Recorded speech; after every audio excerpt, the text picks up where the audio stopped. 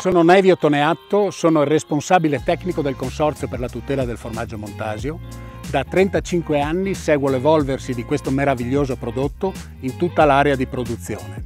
Il Montasio è un formaggio che appartiene alla grande famiglia dei formaggi alpini. Nella stagionatura del mezzano acquisisce profumi e sapori più intensi rispetto ai formaggi meno stagionati.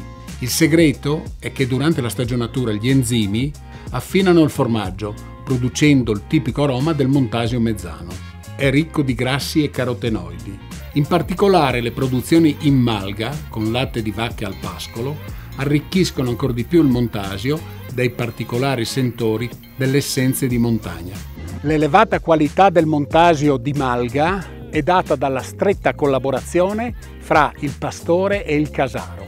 Risulta determinante per il casaro sapere che erba hanno mangiato durante il giorno le vacche. In questo modo può regolare la lavorazione modificando leggermente i tempi e le temperature di cottura della cagliata. Ed è in questo modo che possono essere esaltate le caratteristiche del latte, creando le migliori condizioni perché i microrganismi prima e gli enzimi poi possano lavorare al meglio. Il risultato è una magica esplosione di profumi e sapori che ricordano al consumatore i pascoli della montagna.